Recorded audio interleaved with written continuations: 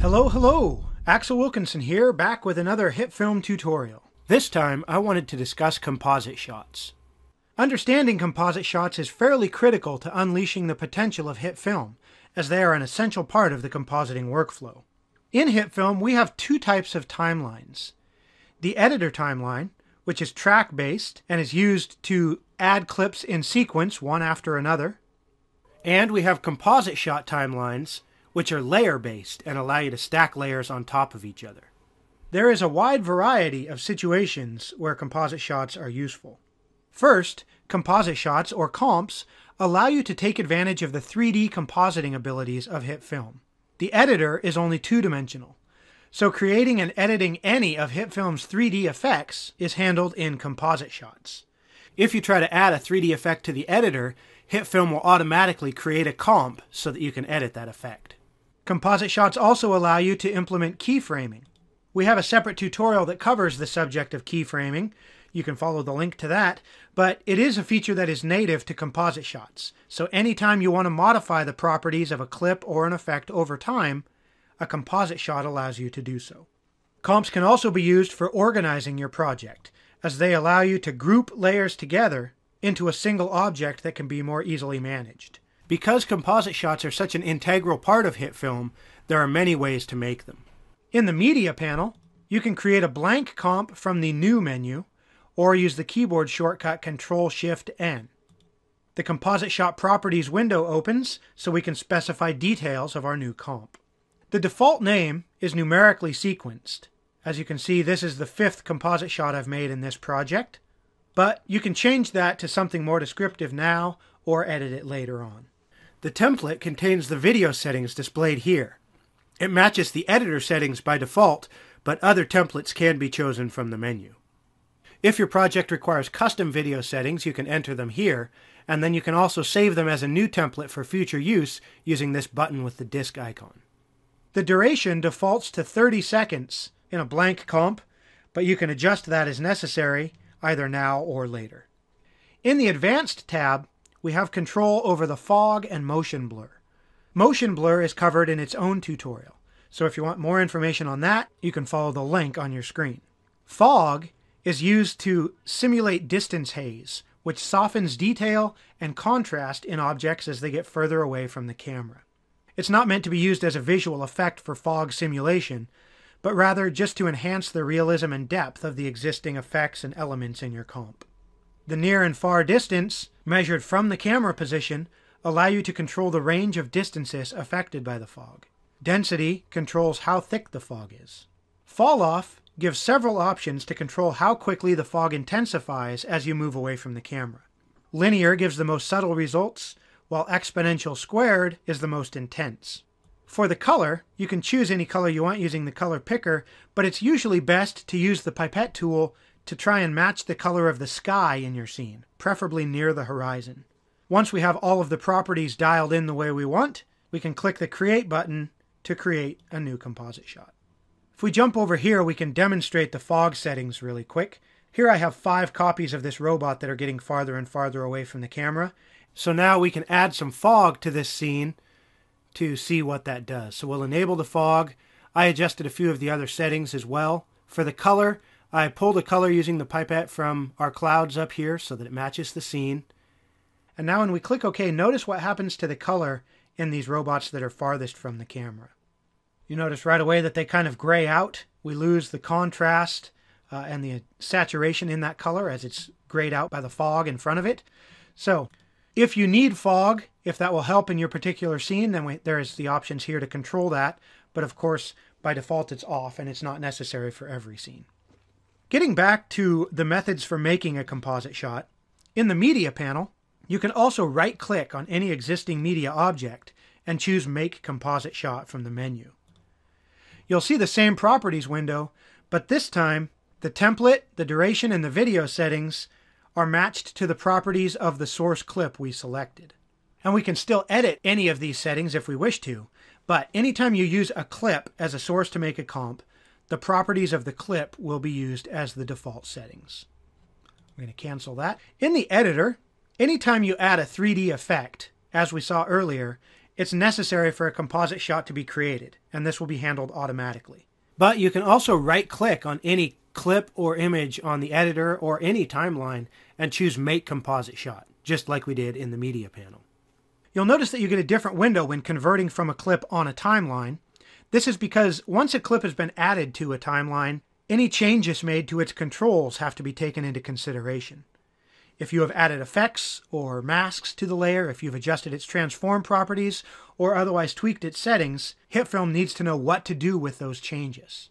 Also, since the properties of the clip may not match those of the timeline, HitFilm needs to know which properties to use when making the comp.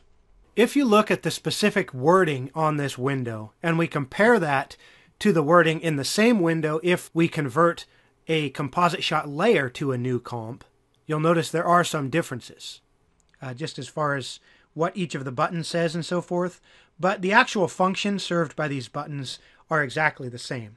The differences in terminology are simply due to the differences between track based and layer based timelines. The name is taken directly from the source clip, but it can be altered to help keep things organized if you wish. In the Properties From section, you can either use the properties of the selected clip or layer, or those of the timeline that it resides in. If the resolution, frame rate, or some other properties of the clip differ from those used by the timeline, then you can select which settings are used for the comp. The second two buttons control how any modifications to the layer are handled. If you have added masks, effects, or adjusted the transform properties of the layer, then you can decide whether those changes stay on the current timeline or are moved with the clip. If you choose Leave Here, then all these adjustments will be removed from the actual layer and be applied to the composite shot that we're about to create. If you choose Move with Layer, then they will stay applied to the layer that you are converting and will be moved with that layer so that they're now inside of the composite shot we're creating. So, as an example of this, I'm going to turn off the effects here for a second so we just have our robot layer. And suppose we want to make this robot invisible using displacement. And I've used several masks and keying filters to remove the background from this layer so that all I have is the robot. You can see them here on the timeline.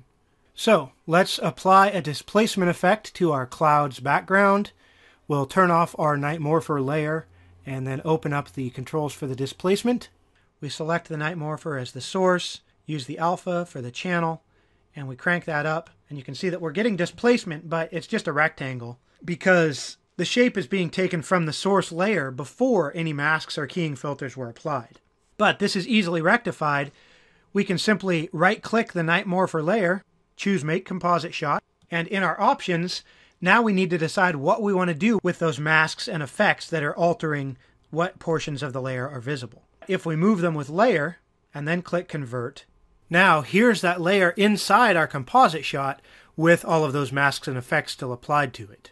And when we switch back to our Robot 1 comp where the original layer was, now we have a composite shot in its place which has no masks or effects because they were moved into the comp with the layer. And the result is that those changes are now baked into the alpha channel of the composite shot. So now, if we select that displacement layer again, we're already set to alpha.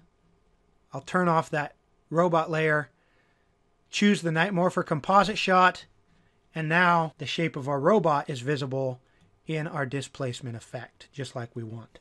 So, embedding changes or baking in changes to a layer in this way is one function served by composite shots. Comps can also be useful for organizing things. I'm actually going to delete this displacement effect and I'll turn our robot back on and then say we want to add some effects to our robot to make him more awesome. So we have this rad robot, but suppose now we want to make two rad robots. Well, we could easily select all five of these layers containing the robot and the effects, right click and choose duplicate. And then we have two copies of each layer with very similar names. And we could go through and select one copy of each and we could move them over. And now we have a second robot. But we also have 10 layers required to make those robots. Suppose we wanted four robots in this scene, we'd end up with 20 layers and a bunch of duplicate names, and things could get very confusing and cumbersome very quickly. So I'm going to undo that, and instead, what if we select our five layers, and then we right click and choose Make Composite Shot. You'll notice we don't really have any options in the screen that appears other than changing the name. But when we click convert, now we get a new composite with all of those layers in it. And back on the Robot 1 timeline, those five layers are replaced by a single layer, that embedded composite shot, which contains the robot and all the effects. Now you'll notice in this case, the appearance of these flames has actually changed significantly. This is because in the individual layers, the two layers that make up those flames use an add blend mode, while the other layers do not. And so when those are all combined into a single 2D object here in the Robot 1 timeline, you can't use multiple blend modes in a single object. So to correct that, we just need to convert this 2D layer to a 3D unrolled composite, and that way each of the layers inside that comp can use its own blend mode and positioning information. So, with just one object now on this timeline, it's much simpler to duplicate that layer to create as many copies of the robot as we want. We can have a whole fleet of robots up here. Uh, is that the right word? Do robots travel in fleets? I don't know. What's the correct group word for robots? If you know the answer to that one, post it in the comments below because I want to know. Anyway, we now have all of these robots, and the timeline is much cleaner and simpler. In addition, since each of these copies is referencing the same source comp, if we decide we need to change something about the robot, perhaps the angle of the jet flames, then when we make those changes in the original, all of the copies are immediately updated. So here, let's select each of these, and I'm just going to rotate them so they're pointing more straight down. And now when we go back, the jets are pointing straight down on all three copies of that robot. Think for a minute about how much fun it would be to make that change to the angle if we had copied all of the layers individually. And you can see very quickly how useful composite shots can be for keeping things organized and for duplicating complex elements of your scene. If you're already within a composite shot, then you can convert 3D effects to a comp as well. If you ever need to apply 2D effects or masks to a 3D layer, then it's necessary to convert it to a composite shot first using this technique. The composite shot properties will be taken from the current timeline, the layer will be moved inside the new comp, we click convert, and now we have a new composite shot containing that effect, which is embedded into the previous comp as a 2D layer. So now that layer can be masked, or we can add effects to it just like we would any 2D layer. All right, I'm going to undo that. I'm going to close a few of these that we don't need. So each new comp that is created exists as an object in the media panel and can be used on any timeline of your project just like normal media. You can select one and drag it to a timeline. You can trim their length as you see fit. You can slice them with the razor tool. Now, trimming a comp object won't affect the contents of the comp at all. It merely adjusts the portion of the comp which is shown in the current timeline. To change the actual length of a comp, we have to edit its properties. So for example, in this gunfire effect here, we've trimmed this down pretty short, but when we open the actual new gunfire effect composite, it's still 30 seconds long. We haven't changed the actual length, we've simply adjusted how much of that length is visible here on the editor. So to edit its properties, we can click the gear icon here in the media panel, and that opens those up so we can edit them. We could right click the object on the timeline and choose composite shot settings to get to the same screen. Or if the composite shot is open, then you can click the properties button here on the timeline to edit the properties as well. So I hope this helps you all to understand better when and why composite shots can be used, some of their functions, and how to work with them. Uh, let us know if you have any further questions. We do have some really cool tutorials in the works for the near future, so I recommend subscribing to our channel if you haven't already, so that you don't miss those.